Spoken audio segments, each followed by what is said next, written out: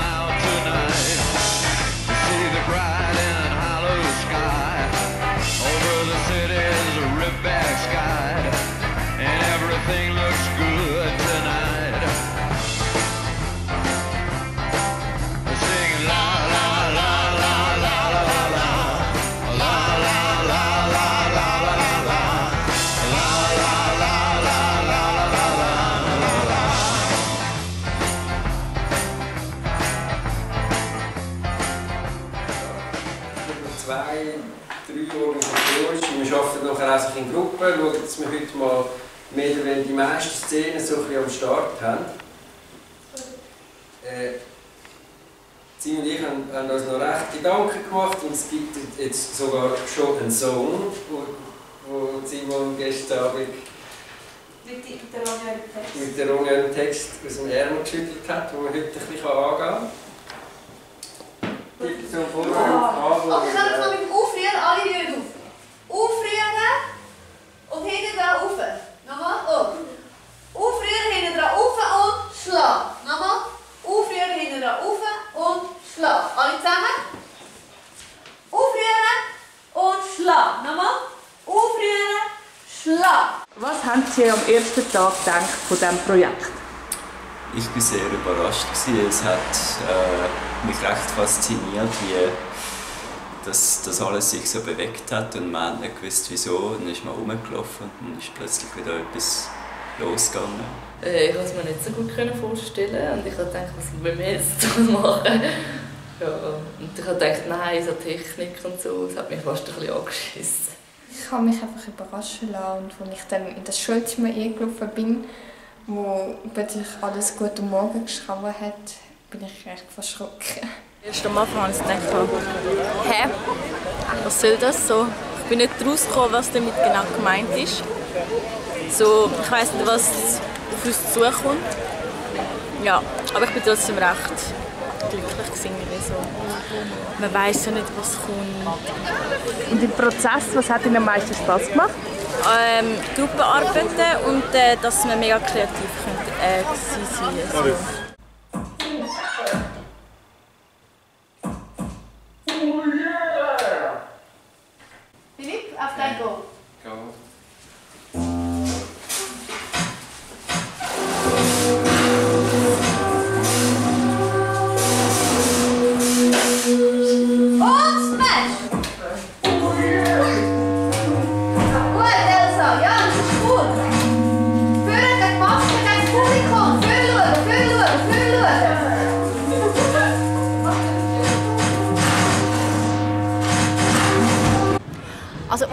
Jonas angefragt hat, habe ich gedacht, ja, Jesus Gott, jetzt muss ich zwei Wochen so eine Installation bauen und mal schauen, ob ich das kann. Und ähm, habe mir mega Sorgen gemacht und dachte, Jesus Gott, wie können wir Songs entwickeln? Wie geht das mit einer Klasse? Das ist auch schwierig, die ganze Zeit die, die oder die, genau, die Einsätze zu geben. Und dann bin ich mit Jonas daheim, wir haben das ausprobiert und es war super lässig. Und von dem Moment an habe ich gefunden, das wird super. Dann habe ich mir ganz viel Gedanken gemacht, wie ich das dann entwickeln könnte und habe ganz viele Szenarien und Übungen mir überlegt. Und als ich in die Schule gekommen bin, habe ich gemerkt, die bringen so viel mit, ich muss jetzt einfach nur pflücken. Und so war es. Es sind gerade schon beim zweiten Tag sind Texte gekommen, wo ich dann halt gerade eine Melodie dazu erfinden Das hat mich so inspiriert. Und so ist es eigentlich weitergegangen. Es hat sich eins ums andere hat sich ergeben und wir haben eine wunderbare 15-minütige Performance können entstehen lassen.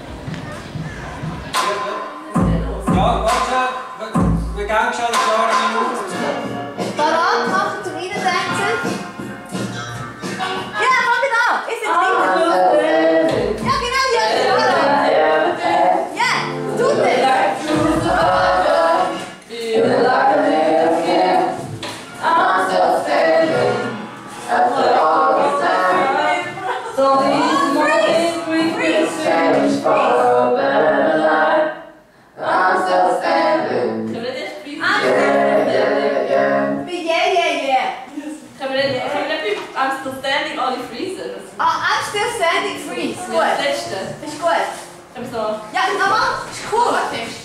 also bei dem Stück haben wir ja alle zusammen geschafft und alle ähm, unsere Ideen reingebracht und alle können dazu beitragen. Und das ist auch noch recht cool, was wir als Klasse da angestellt haben und auf Beine gebracht haben und auch unsere Ideen, so wie wir es hatten, haben können umsetzen.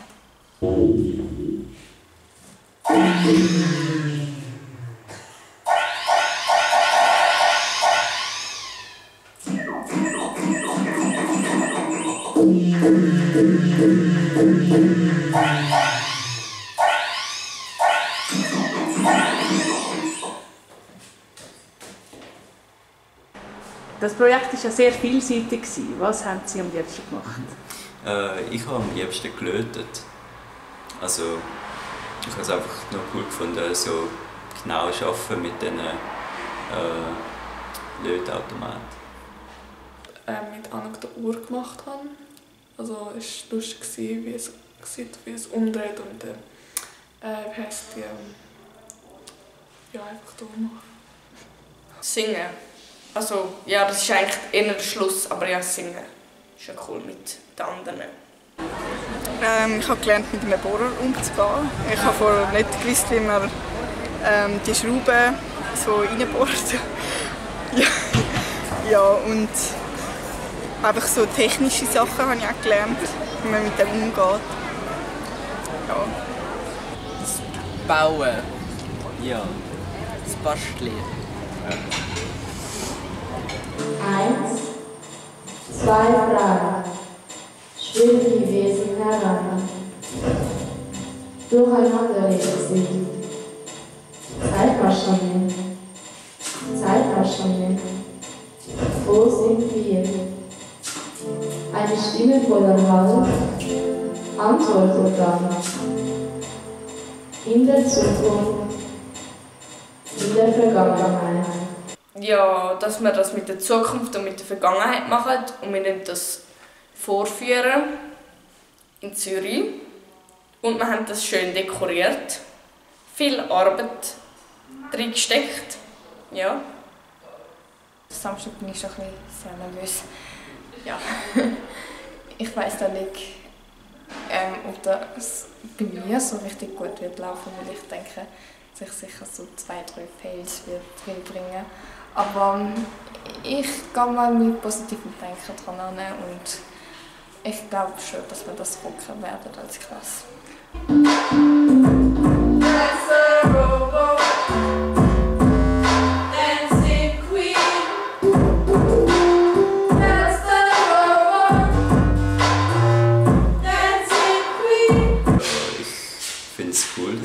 Dass wir Klasse das so zusammen angebracht haben. Und ich freue mich auf die Aufführung.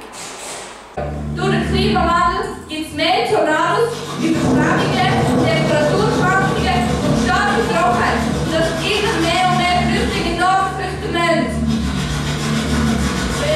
planet, save Ich hoffe, dass es ähm, schon sehr beeindruckt. Also, dass man über das Klima redet und dass man ja, so powerful und es zeigt und so. Ja, ich freue mich auf den Samstag und ich bin stolz auf unsere Leistung. Ich hoffe, es kommen nicht zu viele Leute, aber ja, es wird sicher cool.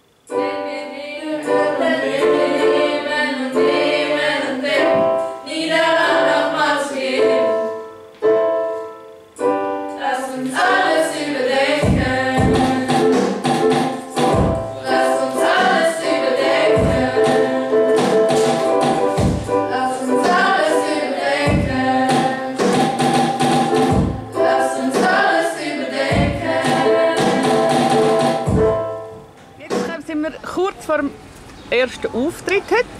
Ähm, wie geht es Ihnen? Ja, unglaublich gut. Sind Sie nervös? Nein. Nein.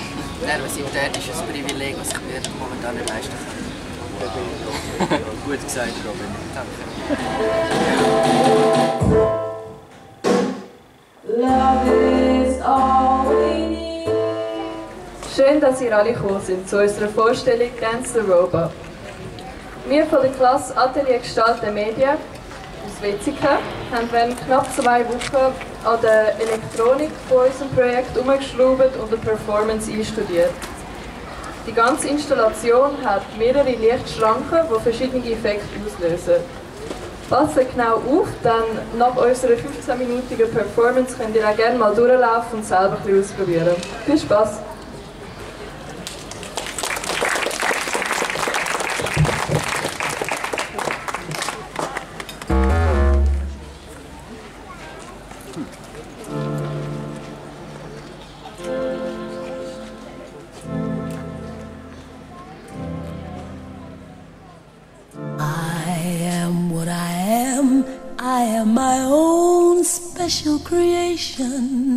So come take a look. Give me the hook or the ovation. It's my world that I want to have a little pride in. My world, and it's not a place I have to hide in. Life's not worth a damn till you can say, I am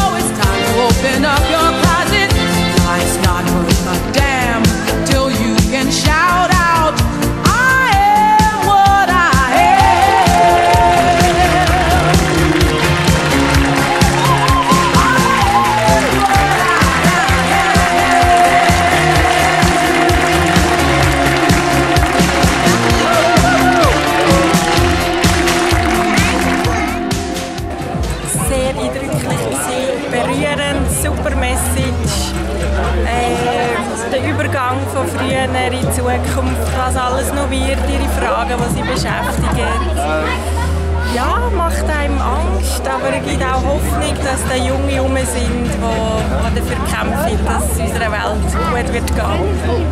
Mir hat es mega gefallen. Die Performance gesehen, Dance Robots. Super, richtig lässig gewesen. Also ich finde es genial, dass sie haben können sich so ausdrücken und sagen, was sie haben wollen sagen am Publikum. Und die Lieder haben mir auch gut gefallen. Und es war gut gesungen, gewesen. wie sie musiziert haben, hat mich sehr fasziniert mit diesen Lichtschranken. Das ist wirklich sehr speziell. Also tolle Sache, gratuliere! Jetzt haben Sie zwei Vorstellungen hinter sich, eine noch vorher, also vor sich. Wie, wie geht's? Wie fühlen Sie sich dabei? Gut, es geht schnell vorbei.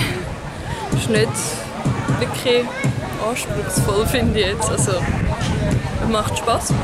Haben Sie eine Rolle? Ich soll ich sagen, ja. Einfach so ein bisschen eigentlich die Rolle, die ich am liebsten hätte, wenn ich jetzt einfach so in den 70er könnte leben könnte. Lässiges Gefühl, so, man kommt so richtig auf sich raus irgendwie, man steht dort und dann stellt man den Kopf voll ab und macht einfach das Ding. Ist es anders vor Leuten als ohne Leute? Ja, es ist fast einfacher, weil dann, dann ist man fast gezwungen, so in sich hineinzugehen und die Rolle anzunehmen.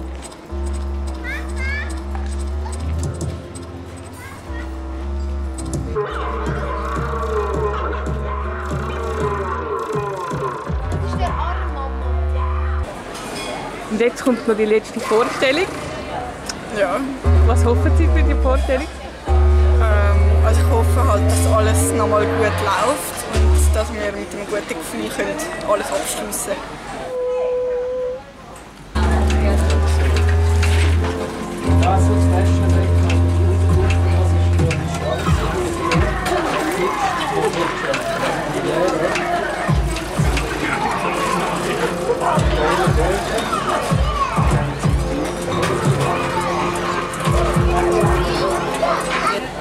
sehr gefallen. Ich finde auch, es hat sich auch mega gelohnt, mal diese Erfahrung zu machen. Am Anfang habe ich gedacht, ja, lieber will ich ein eigenes Projekt machen, aber so mit der Zeit ist es halt so das Gefühl von so Gruppenarbeit, das ist dann schon schön. Are you ready? Yes! Are you ready? Yes! Yes! Yes! Ich finde es ein mega cooles Projekt eigentlich und man hat so mit der Zeit auch gemerkt, wie alles sich so ein bisschen zusammengefügt hat. Und ja, ich glaube, wir sind alle mega stolz. Are you ready? Yes! Are you ready? Yes! Are you ready? Yes! Yes! Yes! Yes! Yes! Die Klasse hat sich verändert, das Projekt? Ja, mega. Jeder? Das ist das zweite Projekt und jetzt sind halt unsere Klassen mehr zusammen verbunden, finde ich so. Es gibt nicht mehr so viele Gruppen wie am Anfang.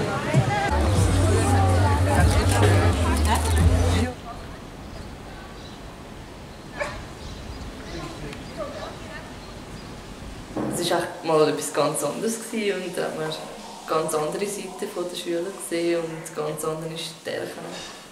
Und ich finde, es hat auch die Klasse recht gestärkt, weil man auch richtig müssen zusammenarbeiten und hat müssen sich können auf die anderen verlassen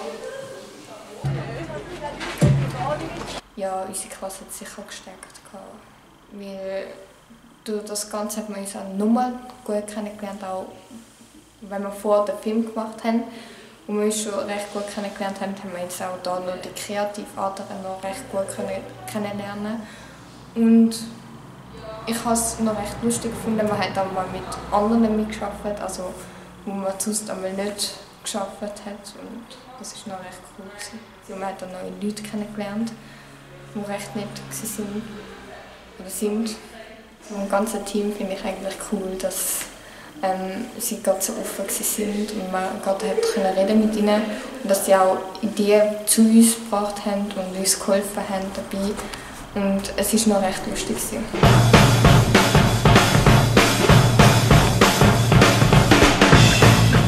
Hey, ich habe es mega leise gefunden, mit euch zu arbeiten und das Projekt zu machen und was ihr alles da für Ideen reingebracht habt und Inhalt, ist einfach grossartig. Ich habe eine riesige Freude. Und ich wünsche euch für die Zukunft alles Gute, dass ihr euer Engagement, das ihr hier habt, könnt an verschiedenen Orten einsetzen, die spannend sind und für euch lesen. Und ich hoffe, ihr habt ein wunderbares Leben und ich sehe euch irgendwann mal wieder.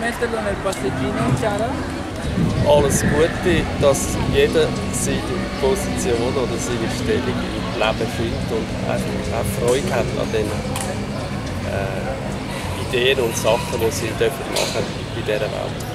Ich wünsche allen ähm, ein schönes Leben. Ähm, einfach so, wie es für sie dann schön ist, wie es für sie stimmt. Und dass sie so bleiben, wie sie sind. So wie sie jetzt sind, ähm, so echt wie sie sind jetzt bei dieser Aufführung. Hat mich sehr berührt. Das wünsche ich, das wünsche ich Ihnen und mir ganz fest. Und ich wünsche mir auch, dass ich hin und wieder vielleicht mal über den Weg laufe.